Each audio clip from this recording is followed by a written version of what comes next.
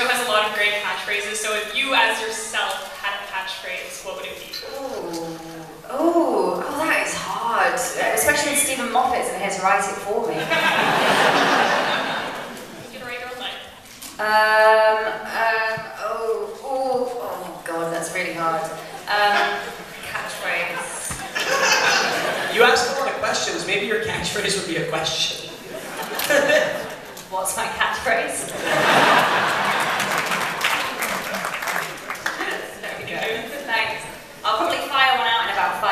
when I come up with it.